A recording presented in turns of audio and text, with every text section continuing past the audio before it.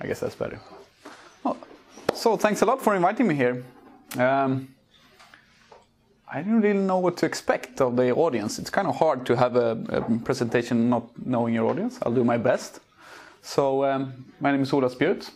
I'm associate professor at Uppsala University. I'm going to talk a little bit about uh, cloud computing in life science, and uh, I think uh, quite a lot of this will be uh, my perspective. Uh, but I think I'm in a pretty good position to, to talk about uh, life science in this respect. Um, oh, this is okay.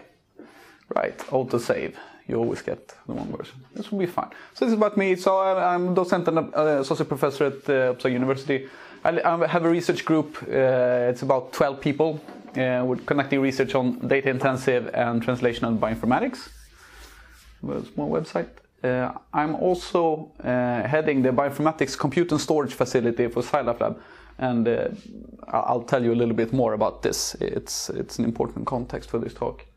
I'm responsible for for our for for managing our resources. Uh, now today it's mainly high performance resources. I'm, but I'm mostly involved in this, and I'm doing strategic uh, planning, procurements for for uh, SciLife Lab. Uh, I'm also the deputy director of our high performance computing center in Uppsala University, and I'm a guest researcher here at Karolinska Institute. So I, yeah, I do a lot of different things. But to start off, um, a lot of things have, has happened in uh, molecular biology in the last years. Uh, we're moving from conventional microscopes to, to digital video, video microscopes and image processing, um, where we previously did a lot of manual operations. Uh, we now have um, a lot of automated robotized uh, laboratories. So there's, there's a, we, we have I should say it's it's exploding in, in the life sciences right now. The data generation facilities. Um, everything that we measured single points earlier, we measure now in uh, on on a thousandfold higher level, and this goes through all different subfields of, of life science. Even if you're looking at genome or, or if you're looking at proteins or, or the small metabolites in, in blood and so on, we measure them on on a much, much faster scale, and the cost is just going keep, keeps dropping. It's going down, down, down. We see here this uh, famous graph uh, at the lower right corner, the, the cost for sequencing a genome, and it just keeps going down. So SciLife Lab, um, I mentioned uh, I work uh, part-time at SciLife Lab, Science for Life Laboratory. Uh, if you haven't heard about this in life science before, it's it's a unification of four uh, major universities, Uppsala University, Karolinska Institute, uh, Stockholm University and Royal Institute of Technology, KTH, here in Stockholm. Um, now this is expanding all over Sweden, so it's becoming sort of the umbrella for molecular life science and a lot of the data generation platforms. Uh, a lot of service with uh, affiliated research. So uh, we, if you have a biological sample, you want to analyze it in some way. If you want some really, really high resolution microscope, or if you want to sort of uh, extract the, the genomes or, or, or, look at it from, from various perspectives, uh, there's a lot of platforms at SciLife that can help with this. Uh, so I sit in Uppsala node and uh, the Stockholm node are in this, this is uh, uh, Solnavägen and it's uh, on one side here you have Karolinska Institute, and, and right behind it you have a Karolinska Hospital, the, the new Karolinska Hospital. So it's a rather, uh, uh, rather big strategic investment from uh, specifically from, from the government to try to unite these, these platforms.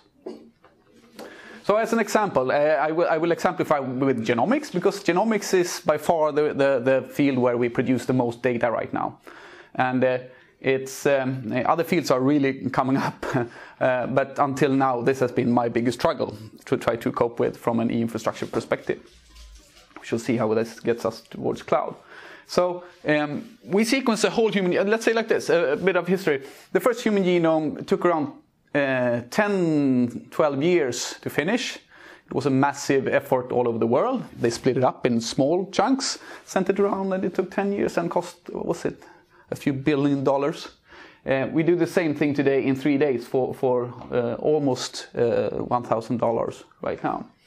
Um, we do this by breaking that, uh, by fragmenting the DNA, the complete uh, human genome, into very, very small pieces. They could be 100, 200, 400 uh, ATCG bases long. Um, and then we sequence them in parallel, massively parallel, and then we need to sort of puzzle this together. And this is what we do in, in uh, high performance computing facilities right now.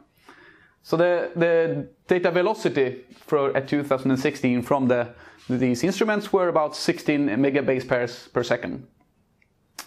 And a base pair is yeah, AT, C, and G in DNA. Now the mode of operation is that people send samples to SciLife Lab. Uh, SciLife Lab, for example, put them in the sequencing machines, they do some analysis, and uh, then they, there, is an, there exists a quite, quite uh, large uh, pre-processing cluster just to do the pre-processing of this data. We have about uh, well, a few thousand cores at least, and, and a few petabytes to do the pre-processing, and data is delivered on a, a big research cluster uh, where people log in. It's a shared high-performance computing environment, Linux clusters, we have a lot of uh, software installed and people do their analysis there.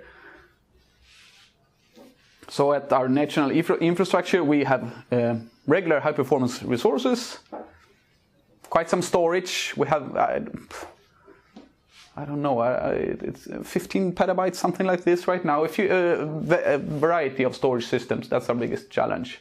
Um, and also keeping up with the software data, we have hundreds of, of software tools installed and, and dedicated people installing this. this uh, uh, we have a lot of support personnel. We work a lot with education because a lot of the people in uh, biology they are not so used to uh, working with computers. Some know extremely little, and a lot of the beginners in our first courses they have never seen uh, a, a, terminal before. They, they use the Windows.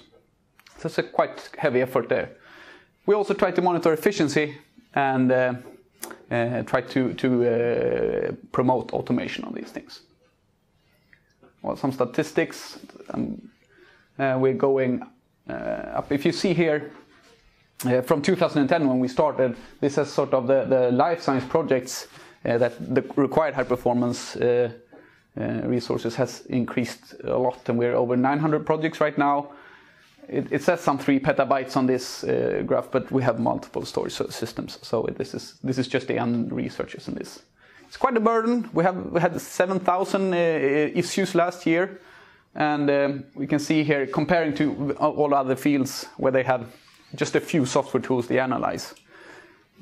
With, um, in bioinformatics, it's such a young field, and a lot of the, the tools are developed by computational biologists biologists that learned uh, to work with computers. Um, I think this is important to keep in mind that a lot of the, the, software suites they are they are not so efficient. If you talk to people in, in computer science, they say, "Oh my goodness, this must be able you must be able to do something better than this. It doesn't scale well." And the answer is yes, that's probably doable, but this is the best thing there is right now.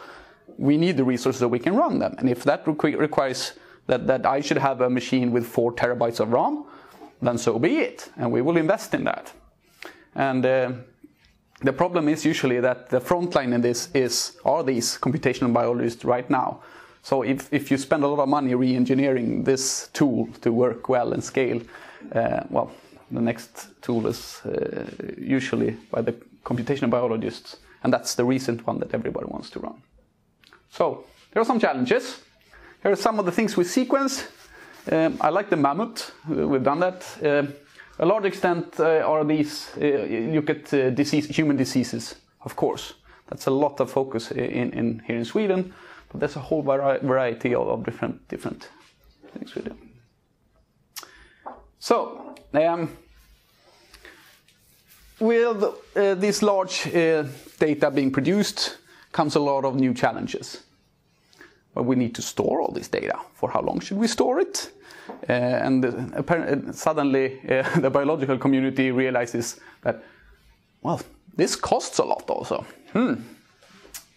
I didn't think about that. I, I, didn't write it in my application. So who should pay for me storing and how for how long do I need to store it? Uh, we need more analysis methods, pipelines, uh, suddenly people need to worry about scaling uh, and it's uh, and automation things that uh, well it's been kind of ignored early I should say in, in, in bioinformatics data integration and security suddenly becomes uh, very important when, when, when, you, when, when data is so large it can't fit on your local systems, well, then suddenly people get scared of, of security. Um, and obviously, in the end, we want to do predictions. Okay, so getting a bit more towards uh, cloud in the life sciences. So, so why, why, should, why, why are we interested in this? Why, why do we care? Um, well, if you, if you look at it from, from, from, from a perspective, a resource perspective, what we have right now, if you have a high performance computing cluster that, that you can use, I mean, you're sort of bound by its limits. There are dedicated sysadmins installing uh, the software you need, and well, yeah, you can request things. It takes time, and uh, sometimes uh, if, you, if you have some, some particular request, sometimes they will say no.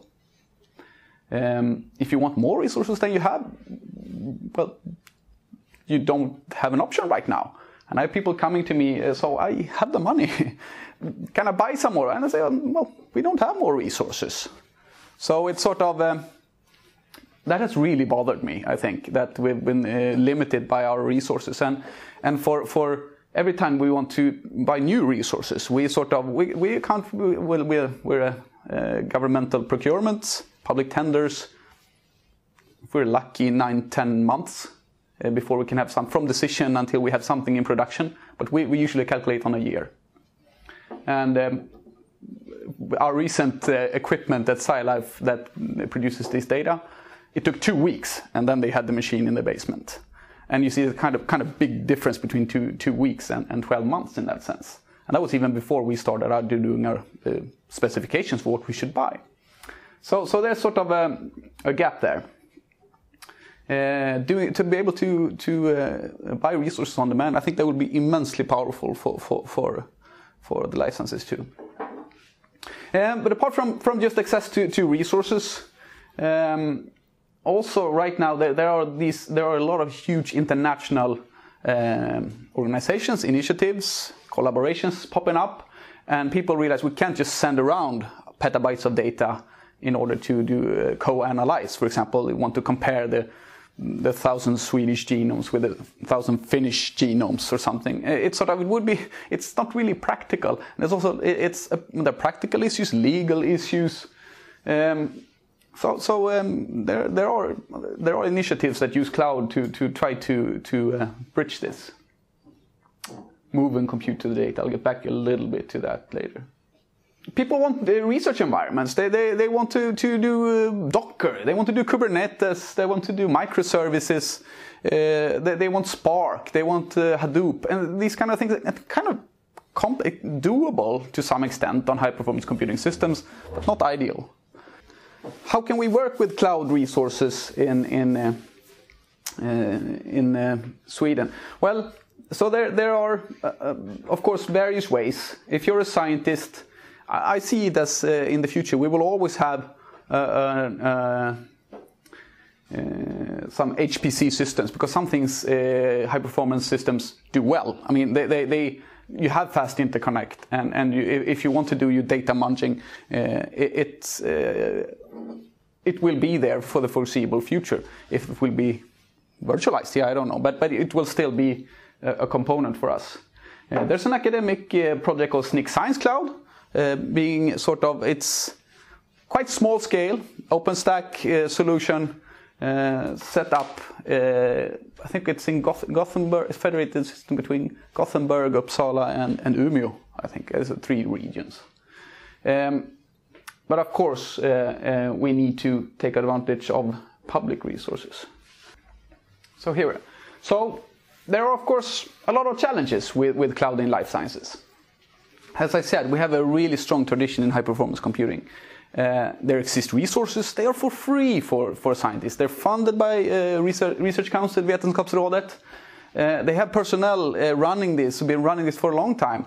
It's earlier a lot in, in physics, astronomy, the, these traditional computationally heavy domains. Um, so they exist, they are there. Uh, also, the cost model is quite new to us uh, in academia. Uh, I find it myself very difficult to assess the costs. Uh, looking into to what would be uh, cost efficient for us, what type of our problems uh, can we move to can, to outsourced resources in that sense. Um, it's kind of difficult. Uh, there's a legal point. Um, we, to some extent, we work with sensitive data, and, we, and uh, I think this is a whole matter of our uh, of its own. Uh, and we have uh, the university lawyers, the hospital lawyers, uh, talking about this. And I think, I mean, we need to just bring everybody's. they talk about oh, it's in the cloud, and it sounds dangerous, and, and it's sort of they shut their ears sometimes. Um, we, we, have an educational challenge there to, to try to, to explain to, to people what it, what it really means. Uh, but I mean, a remote survey, oh, that's fine. A cloud, no, no, no. Um, so educational, yeah, this is the, a new technology for, for many of our researchers as well. They, they need to learn how to take advantage of these things. But it, it's going forward. So what are the needs in bioinformatics? So um, generally, if we compare to, to, to other scientific domains, uh, life science uses a lot of RAM and a lot of storage, relatively high I/O. Uh, uh, so RAM is quite expensive uh, if you are on, on cloud resources. Storage can be expensive too. Um, so it's sort of yeah, we're back to the cost model. Um, we need to assess that properly. And then the users, they really don't care where where where, where the resources are. They don't care if this is high performance computing or if it's on a cloud resource. They just want the resources. They don't want to deal with the infrastructure at all. So we have to sort of hide this in some way for them, make this transparent. I'm, I do not think we're there yet. Right now, people have to worry about too many complex uh, complexities. And of course, how to work with storage, because it is our biggest challenge. Storage, I mean, it just grows endlessly, and, and we're going to have a lot of different storage solutions in that sense.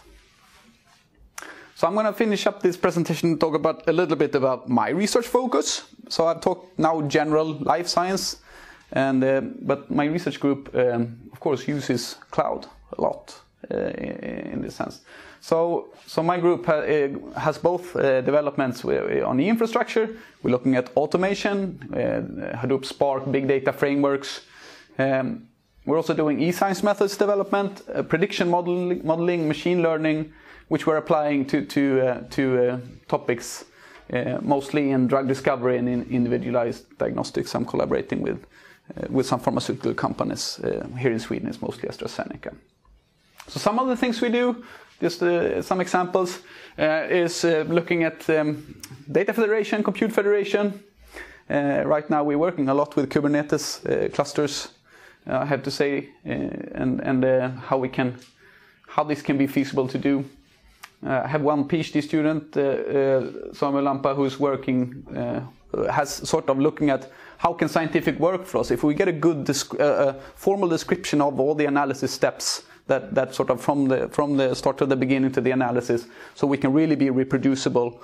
Um, there is some overhead in doing that. Uh, when can this be useful, and what does this sort of allow us to do? And when we put cloud into this picture, it sort of opens up another dimension. People have previously done this on high performance computing centers, um, but it's sort of moving into a more containerized world. This, this sort of opens up new possibilities. Of course, we works with, with Spark, Hadoop, and so on. I'm not going to go into details.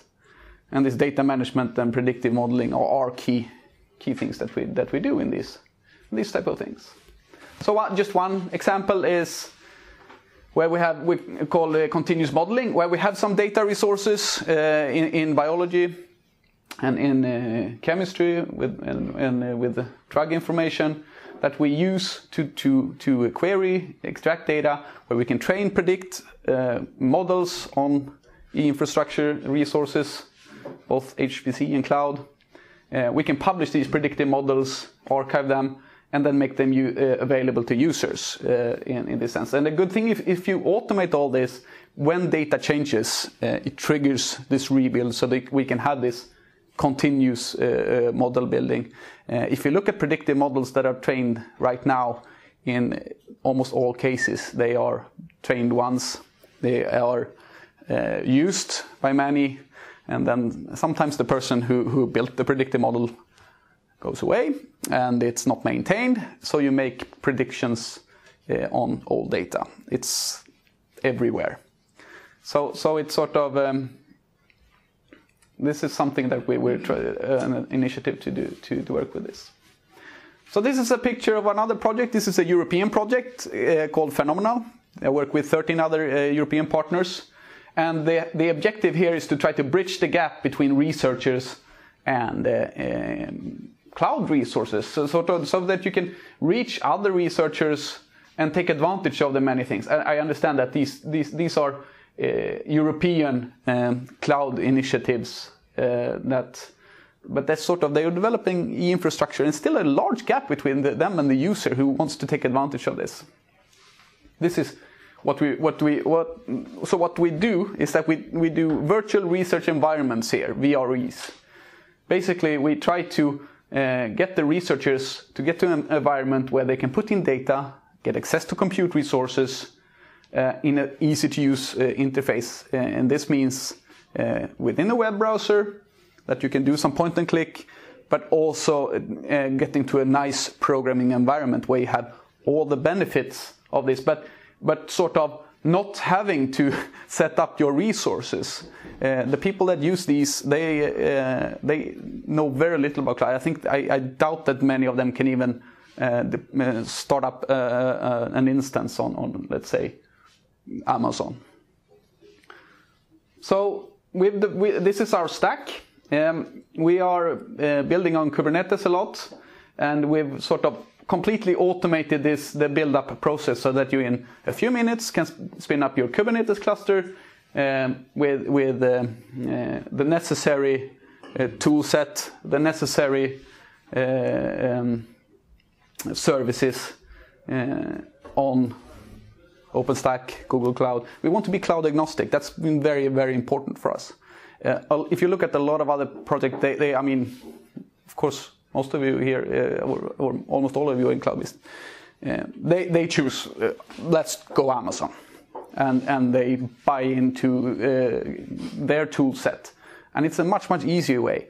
And we've struggled a lot to be cloud agnostic, to be able to do this on, on Google, Amazon, and on OpenStack, because we, uh, we have a, uh, an incitement to run this within hospitals on, on uh, their systems, within pharma companies on their installations, on local servers. So this KubeNow, I say, uh, this is something we developed that wraps around this. So in three to five minutes, we spin up a complete environment on, on any of these resources. I'm sure you have questions on this. This is another project. I'm not going to say so much about it, but I, I but I'm, I'm, kind of proud of this because this is something we're starting up right now. And this is together with, uh, with some companies, AstraZeneca, Vironova, and SciLife, uh, where the idea is that right now we can generate so much data in image analysis uh, that we can't store it. And we have to process it on the fly. And we have to prioritize what data we capture. And we have to, we have to sort of on, uh, in real time analyze uh, uh, and make predictions about it. So this is an integrated topic between image analysis, professor in Uppsala, uh, I'm responsible for the machine learning part of this, and and also Andreas Hellander. He's building the uh, the information architecture, so we're going to have store inf uh, information in a hierarchical fashion, because uh, so that we can sort of, for, for, example, have access to the the information we really need uh, in, in a Spark cluster, and we do some fast analytics on this. So this is something we're starting up. We're recruiting now, so we're going to recruit six people to to work in this project. Uh, so this is kind of cool. So, final, summing up with, with, with some, some um, things that we've done um, and uh, with relation to, to uh, City Cloud. So this is at uh, my, my, PhD student Marco Capuccini presenting at Spark Summit in Boston this year. Um, and he uh, developed a version on uh, where we can uh, use Spark to, to um, scale out Docker containers and do analytics in, MapReduce fashion. And well, you see in the middle, of course, that uh, uh, we, we used this. On, we did this on, on City Cloud. And our latest scientific publication just came out a few weeks ago. Was just how we how we were able to do large scale virtual screening on public cloud resources uh, with, uh, with Apache Spark. Also here, of course, uh, we, we, reference cloud resources kindly provided by CityCloud. So it's, this, is, uh, uh, this is some of our latest achievements. And my final slide is to sit, sort of try to give a European perspective.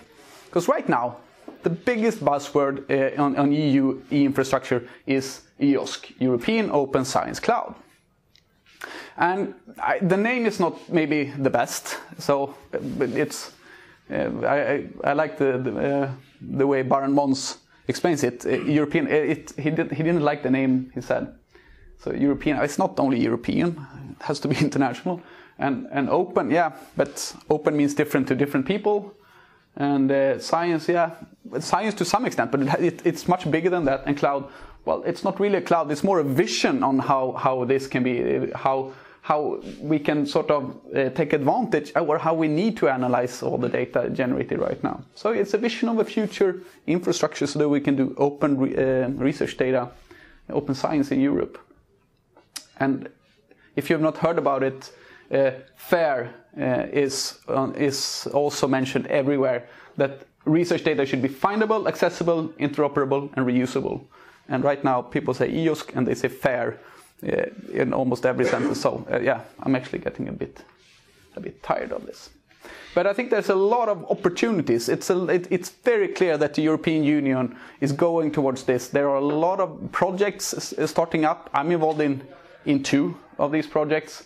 Um, so, so it's clear that this, this sort of, uh, uh, for the European e-infrastructure landscape, this is uh, the way that we're, uh, that we're going right now. So that's that's it. Um, I'll just finish up with some acknowledgement. My research group to the left and some of our uh, major collaborators. So thank you very much.